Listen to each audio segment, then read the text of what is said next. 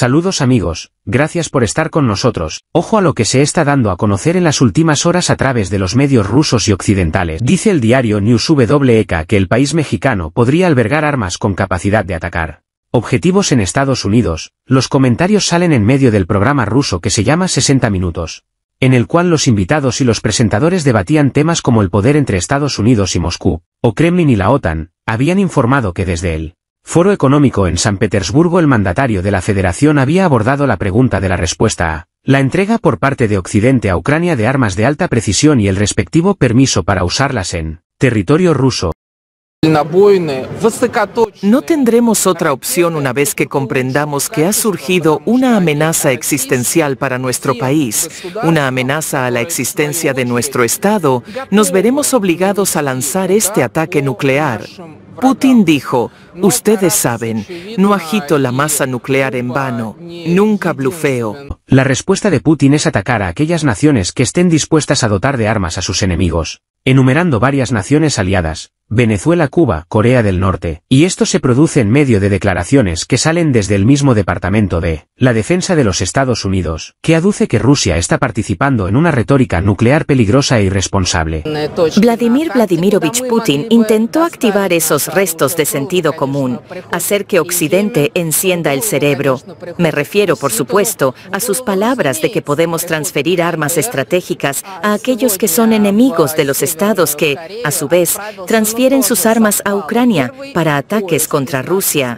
La televisión rusa apunta a que la respuesta del Kremlin será asimétrica y contundente y según este programa, aseguran que Rusia podría apuntar a desplegar armas nucleares en México apuntando a los Estados Unidos de América. El famoso programa de televisión ruso al cual hace alarde Newsweek dijo este fin de semana, así como lo están escuchando, Venezuela-Cuba incluyen a México. Estarían en la baraja de los países que podrían albergar armas nucleares para ir contra objetivos de alto valor en Estados Unidos y los ha llamado las jurisdicciones amigas. Hablamos de esto en el estudio hace unos días. Incluso dibujamos un mapa hoy con nuestro equipo editorial, pensando en dónde podrían dirigirse nuestros misiles en jurisdicciones amigas. Escuchen, creo que en el mundo actual hay una cantidad de partidarios de los Estados Unidos que se alinean para tener la oportunidad de atacar a los Estados Unidos de alguna manera. Y por supuesto que estas declaraciones están causando bastante eco en toda la prensa occidental que no hacen más. Si no estás replicando lo que está diciendo el programa ruso y está siendo tomado como una amenaza latente, aquí están apartes de los mencionados cortos del programa, la presentadora. Evgeny, cuando mostremos el mapa en el programa, a dónde apuntan los misiles americanos y a dónde podrían golpear nuestros misiles a los Estados Unidos, ¿se imaginan cómo gritarán al mundo que los rusos son villanos? Ustedes están bajo la amenaza de un contraataque. Sigue hablando de las palabras del líder ruso contra la OTAN. Así que pensamos en esas jurisdicciones amigas y dibujamos este mapa para mostrarles. Incluso consideramos lugares como San Francisco, que están dentro del alcance de nuestros misiles. ¿Se imaginan cómo gritarán al mundo que los rusos son villanos, que ustedes están bajo la amenaza de un contraataque? Esto es algo que deberíamos discutir más a fondo, porque la situación es extremadamente seria y alarmante. La pregunta que les hacemos es, ¿están dispuestas las naciones de la TAM permitir este campo de batalla nuclear? ¿Cuál va a ser la respuesta por parte de Estados Unidos si se diera este tipo de reacción por parte del Kremlin? ¿Sus aliados? ¿México se permitiría ser parte de esta retórica contra el país norteamericano? Esto se puede considerar como el inicio de una nueva era de tensiones entre Rusia y los Estados Unidos de América. En las últimas 24 horas pululan estas noticias respecto a lo que se ha difundido en la televisión de Rusia.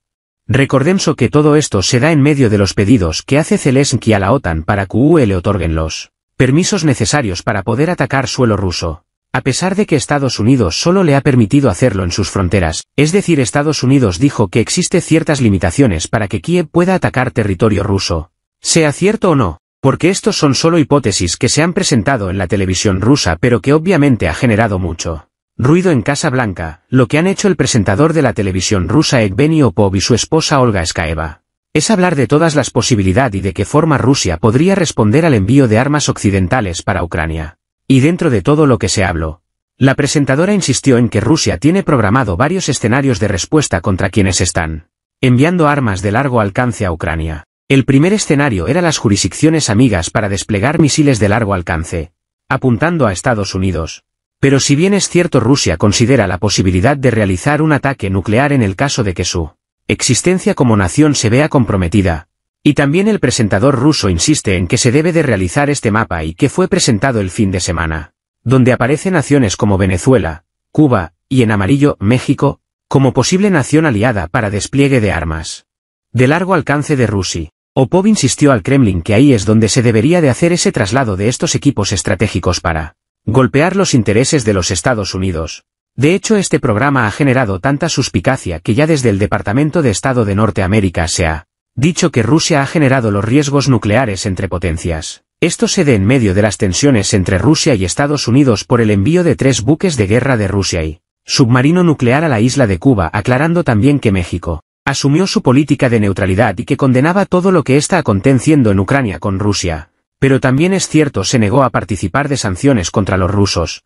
Para algunos expertos esto no escala ni tiene veracidad pues México es una de las naciones que como doctrina tiene el no hacer parte de invasiones a otros países. Las Fuerzas Armadas de Rusia y de Bielorrusia han iniciado la segunda fase de ejercicios destinados a la preparación conjunta para el uso de armas nucleares no estratégicas, comunicó este martes el Ministerio de Defensa ruso. De acuerdo con Defensa, las maniobras tienen como objetivo, mantener la preparación del personal y el equipo de las unidades para el uso en combate de armas nucleares no estratégicas de Rusia y Bielorrusia con el fin de garantizar incondicionalmente la soberanía y la integridad territorial del Estado de la Unión. Recordó que la primera fase del ejercicio, que tuvo lugar el mes pasado, incluyó entrenamiento práctico sobre la preparación y el uso de sistemas de misiles táctico-operativos Iskander, así como misiles hipersónicos Kinzhal. Previamente, el presidente de Bielorrusia, Alexander Lukashenko, afirmó que los ejercicios militares conjuntos con Rusia se celebran en preparación para no perder el golpe. No estamos haciendo nada especial,